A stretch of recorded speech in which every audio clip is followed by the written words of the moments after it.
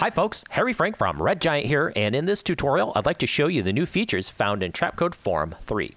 The very first thing you're going to notice when you try to apply Form is that it's located in a slightly different directory in your FX. You'll find it under RG Trapcode, and inside there you'll locate Form. The first new feature I'd like to show you is the Designer window, and I'm going to launch that by clicking on this bright blue button here at the top. The designer window is an interactive environment where you can see your visual settings render and playback in real time, as well as a visual readout of what your settings are represented in these blocks down at the bottom. Any one of these blocks that I select will instantly show the related parameters over here on the right. If I double click on any of these blocks, I can load presets. So if I double click on the base form, I can load a base form preset. If I double click on the color section, a preset color map. I'm going to raise up the particle size to make this a little easier to see. If I double click on the fractal field, I can see any number of presets that affect the fractal field. Now that's one way to build. Let me click reset down here at the bottom. You can also start with a preset over here on the left, and that's what I'm going to do right now. So if I mouse over the word presets and scroll down, we'll see a number of different presets in different categories. I'm going to load this one here called mapped strings. So this is a good illustration of seeing our settings playback in real time. And then down here we can see a representation of all of our settings in these blocks. So as you can see, we have different blocks divided into categories, and each of those categories correspond to categories right back in your form effects controls. So we have a base form section, a particle section, shading, etc. So at a glance, we can see here that we've changed the base form to a box strings. We've got a little bit of a size map that trails off on the right side on our particles, and we can actually see that going on in there. We can see that we've got sort of an orange to teal color map and that we are affecting the fractal field. Equally as helpful, we can see what isn't on. So we can see that we don't have any disperse or twist, any shadowlets are on.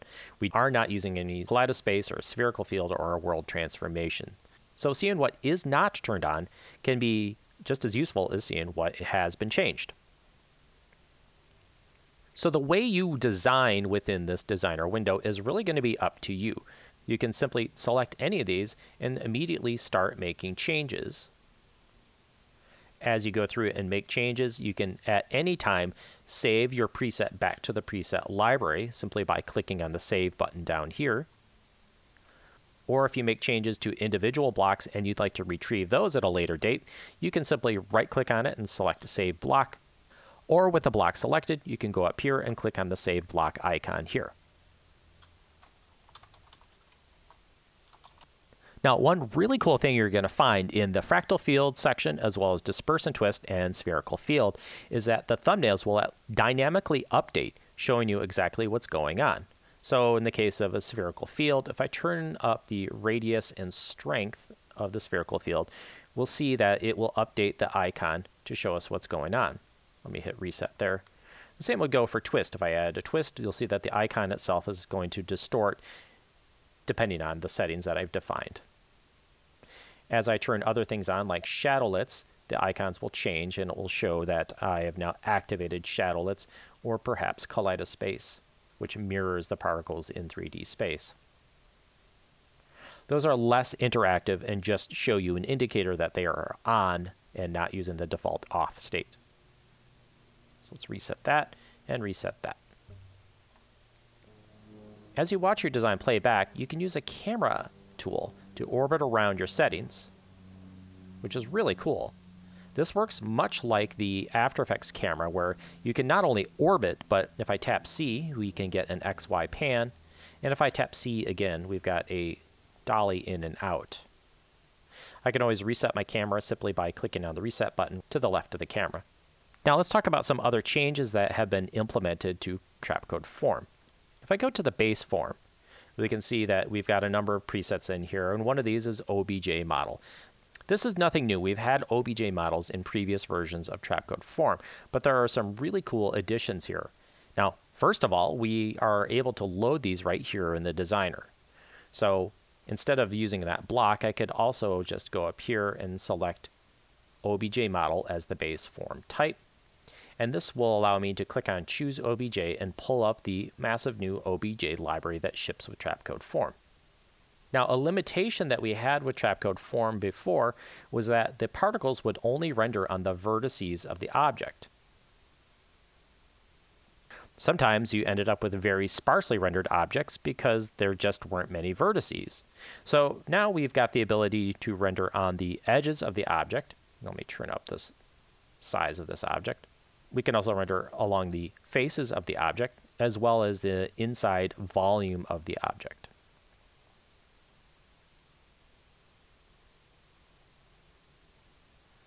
So like I mentioned, you can load the OBJ right here by browsing the library. As you load these, you can always save them as a preset block and then retrieve the OBJs instantly later on. But we've also done that for you already. So we've gone through and saved the OBJs here so you can instantly retrieve the OBJs that are included with Trapcode form.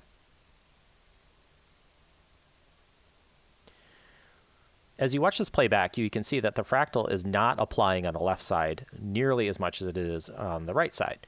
So the right side is actually very strong and the left side is actually turned off. So we have a sort of variable mapping of this fractal field from one side to the other. Now in the past, this was done in a section called the quick map section. The quick map section contained three different maps that you could map to parameters in space. So in Form 3, we've actually done away with the quick map section. Rather than having a dedicated section, we simply added all of those quick maps to each section where it was available. So in this case, I am applying fractal strength over the x-axis, and I am using a variable curve that looks like this. So over on the left side, there is very little fractal strength, and over on the right side, there is a maximum fractal strength. This is available for a number of different things, such as disperse. So I can go in, turn up the disperse to randomize the particles, and I can turn on the disperse strength and select that. Or, in fact, I can copy and paste between curves. So I can copy this curve here, go over to disperse, and paste it like so. You'll find this in particle size, opacity, and the color map is also mappable over X, Y, and Z, as well as radial in the case of layered spheres. But you'll find that the strength is actually not variable because it is a variable color map. Now let's reset this, and I'll go to my blocks here, and we'll just load a simple 32 by 32 grid. Now, one welcome thing you're going to find is that by default, we've actually linked X, Y, and Z scale together. But if you don't want it like that, you can unlink them and scale X, Y, Z individually. Note that this also works with OBJs. So if I quickly load an OBJ here, you can freely distort OBJs in X, Y, and Z. This doesn't always work, but sometimes can be really cool in the case of things like this helix here.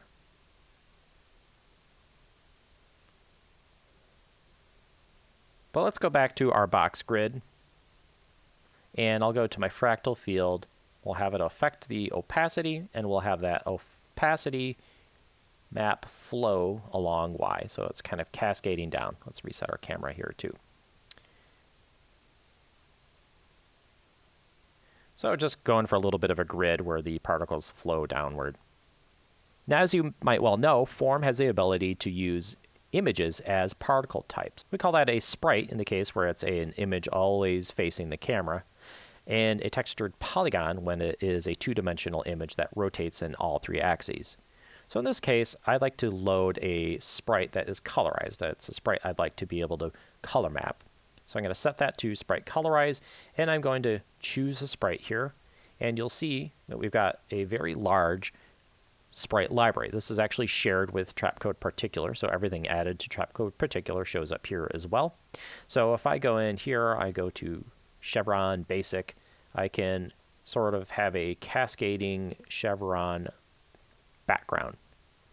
Let's actually have these face the right way, so I'll flip this rotate Z so that they're going downward and adjust the size just a little bit. So if I go to my color, I can map this over Y, and let's just use one of the quick presets here.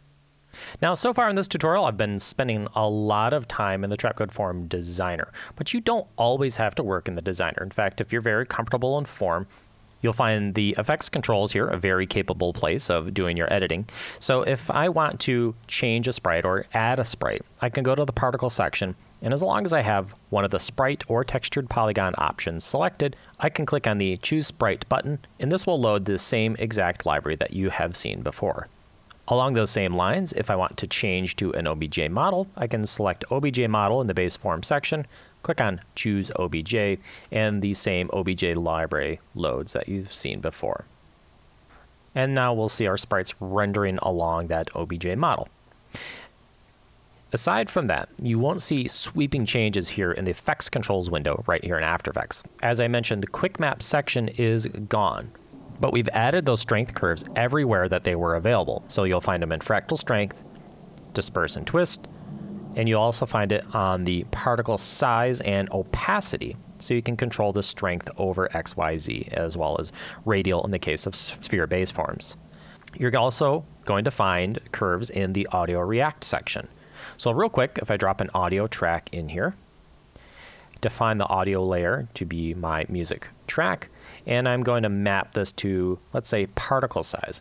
And I really just want to queue up to a moment in time where things are being affected by the music. What the strength curve does is allow you to define an axis, so let's say x, y, or z. So in this case, I'll select x, and we'll control the particle size effect that the audio reactor is having on your image. So really, we've got two different layers of control here. We have the audio reactor looking at the music, controlling the particle size, and then we have the strength curve that is controlling the audio reactor. So a quick illustration of what this looks like is to simply draw some gaps in the chart here. And you can see that the particle size is now not being affected in those sections. Or you could just use a linear graph like that, or draw your own, or use the B-spline editor. That about covers it. Those are the new features found in Trapcode Form 3. My name is Harry Frank for Red Giant. We'll see you soon.